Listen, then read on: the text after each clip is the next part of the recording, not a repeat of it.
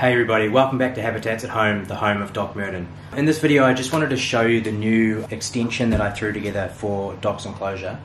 Uh, one of the things that I've noticed as Doc's got older is actually was digging a lot more in the little uh, substrate well that I had in there and for a long time I've been wanting to provide her a little bit more extra space to dig. Uh, but now that I'm in our new place and we've got this big room, I've, I've got the space to do it. So this this was actually Turbo's first enclosure that I built. It's a 4x2 by 2 which is uh, 1200 by 600 by 600. But I made a few adjustments. I, I, I made the substrate dam or this front rail um, a lot higher. It's around about, well, it's just shy of a foot or, or, or 300 mil high. I changed this top rail to make it shorter. Um, we've only got a very small sort of access in here, but that's by design, obviously, to give her the most amount of um, substrate as possible and also a little bit of privacy. I want this sort of area to be a bit of a, a sanctuary for Doc, a bit of a hideaway. If she's in there, like I don't want to bother her. It's just to give her a spot to sort of bunker down if she wants to. And the glass in here, um, I've actually actually don't have glass for it just yet. I've just got two bits of five mil perspex. I've even left the um, plastic on it just so it's a bit more um, opaque. I'm kind of thinking I might tint the glass here or keep it opaque or, or, or something. I, I don't want, essentially, I want to be able to see what she's doing in there, but I don't want to have full view of what's going on outside because I want her to feel safe. Um, Turbo's new enclosure is actually below, and I'm still not 100% sure how it's going to do with the weight of this. And so if that doesn't work out, then I will obviously have to redesign it. So you'll see there the hole that I've cut through to the Doc's other enclosure. I wanted to make this small. I wanted to, her to feel like she was going sort of in through a log or into a, a tight space that then that then opens up. I've waterproofed it to obviously hold the moisture of the substrate. Uh, wall is universal rocks. Um, I've made this sort of heat tile here out of heat cord. Most likely I will not actually use this. I don't heat any of my animals at night. It doesn't get cold enough in my room or even cold enough uh, where I live where it's really necessary. It's important to let your, your animals cool down. I tend to bake them during the day and, and, and no heat at night. So I'm just going to put it in there because it's going to be a lot easier if for some reason that I do decide that I need night heating or I want to warm the substrate. It's much easier to put it in now rather than take all the substrate out and put it in later. So um, it's a case of having it and not needing it rather than needing it and not having it. Lighting in here is pretty simple, just an LED, nothing too crazy in here. Literally just a box to hold dirt. So the other thing is, is the substrate. Uh, we're gonna make the substrate today. I'll show you how I do it. You'll see the substrate down in Turbo's enclosure is a mix of um, cocoa fiber and red Darwin sand. Doc substrate is going to be more uh, garden soil, sand and cocoa fiber. So um, yeah, I'll show you how we make that. Alright, so to make this mix here we're using cocoa fiber which I've already got. Now you buy this in like a brick and you add water and it starts to separate and it actually expands slightly. And the cocoa fiber is very very good at holding moisture. The other thing we're going to use is just washed uh, play sand and um, some organic garden soil and we're just going to mix it all together. The thing about this sort of stuff is try not to overthink it too much but we're going to give it basically 10% sand, 20% uh, cocoa fiber and 70% garden soil and then what we'll do is we'll uh, test its consistency and whether it can hold a burrow and then go from there. So you, you, it's also important to have a little bit of water, you need it to be a little bit damp and then the, all the ingredients will bind together and create a nice um, substrate that, that Doc can burrow into and it'll hold the burrows as well.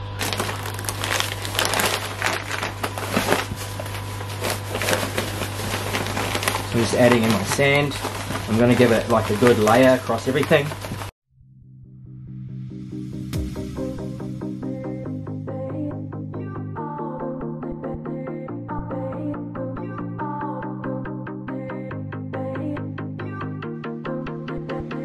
So once we've got all of that in there, just a bit of water,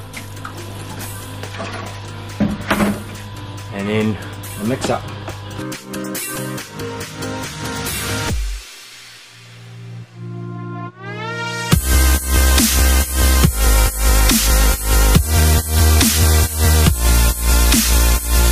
So the cocoa fibre that was on the bottom, we need to make sure that we're scooping down really low and bringing that up to the top.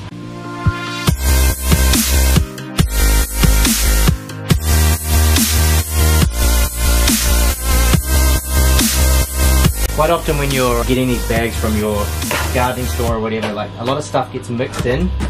Um, so if there's any like, anything like that, that kind of just looks like an old potato or something, but you actually break it up and it's just dirt. So just make sure you're checking anything, any sort of weird sort of objects or foreign objects or quite often you get like sticks and sticks won't really matter, but bits of plastic and stuff like that, you want to make sure you're taking all of that stuff out.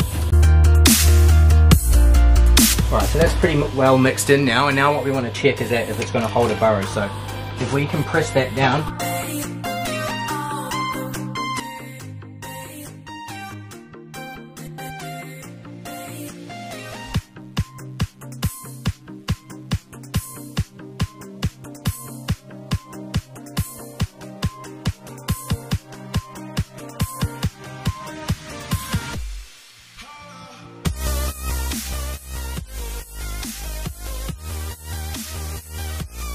So you can see there that that's really going to hold a burrow for Doc. You know, my hand's all the way in there, so um, maybe a little bit more moisture, um, and obviously a lot more compaction. This is going to do do really well. So that's quite good. Now obviously you can see that this tub is not the same size as the digging enclosure, so I'm going to have to make a few of these tubs, but I just wanted to show you how uh, it's done. Okay, so now that our substrate's all mixed up, I'm just going to use this dustpan to carefully um, shovel it in. Like I said, one thing I am worried about is whether um, Turbo's enclosure is going to be able to hold the weight of all this substrate. Um, so as I'm putting it in, I'm just going to keep checking the doors, where the doors keep opening and shutting, because that's going to be the main sign that there's a lot of weight being pushed down on top, is that generally your um, the top rail of the enclosure below will start to bow and pinch the uh, glass doors. Let's get started. As you're shoveling substrate in, you want to make sure you're getting into all the corners, and as you go, you want to be compacting. It's, it's a lot easier to compact the substrate as you go rather than try and compact it at the top, especially when you've got such a, a thick layer.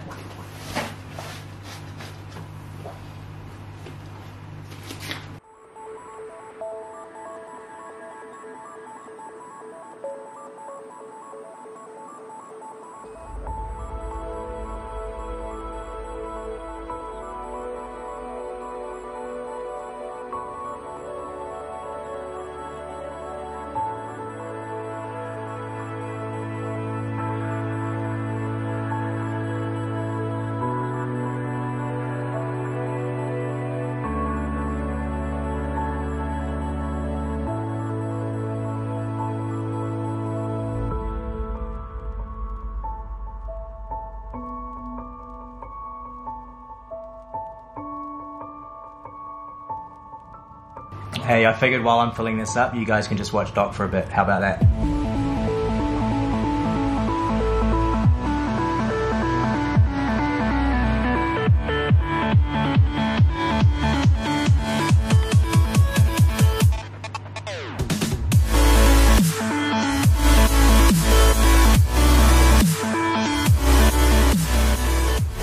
Okay, so the substrate's all filled up. I ended up using uh, two of the mixes I showed you and then I chucked two bags of straight garden soil straight on top just to make up the rest and then I sort of just mixed it in a bit and then compressed it. I did want to fill it up a little bit more but uh, just looking at the enclosure below, this, the, the door's still open and closed fine but um, I'm not comfortable putting any more uh, substrate in in on this at the moment. It's carrying quite enough weight already, and this is fine. There's there's a good 250 mil of substrate in there already. Now the last thing we got to do is that Doc hasn't actually really explored in here just yet. I'm hoping the smell and stuff of of what's going on in here is going to entice you to come in through this hole and use it. But just to get her started, I think I'm going to um, try and get her in with just a little bit of food and um, see how that goes. Okay, so armed with our trusty bucket and net, we're going to try and find a yabby for to eat.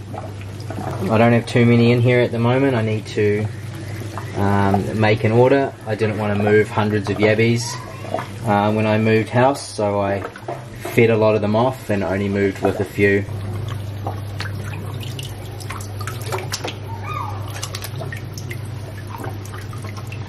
That looks like a good one in the bucket. Let's go. Okay, so I've got this set up like this, kind of like on a split between the two enclosures, and hopefully we can see her uh, go through and eat the yabby on this side. I don't really want to reinforce that there's going to be food over here, but just for the first time, just to get her used to it, I think it's okay. So I'm going to slip this through this side to get her attention, and then you're going to see her make a dash across here in a minute. Here she comes.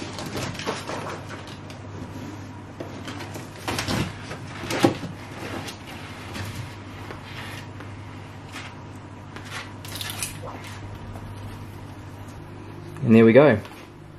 Success.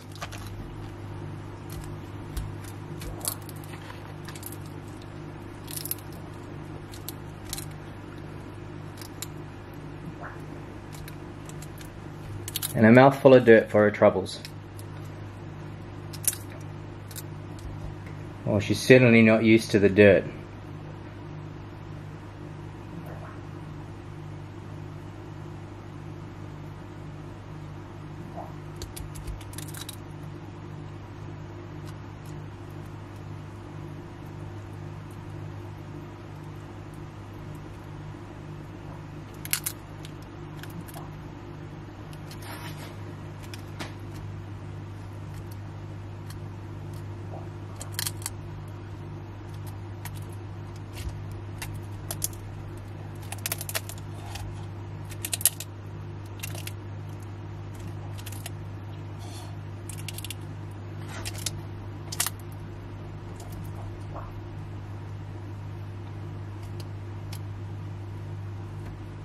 Alright, so what we learned was that she was quick to use the hole, but we definitely do not want to be feeding her uh, over on this side with all the dirt. The little bit of dirt's not going to harm her. Um, I don't want her taking a mouthful of, of soil every time she eats, and we'll keep to the uh, the water side. And hopefully she works out that she can come through here and, and dig anytime she likes.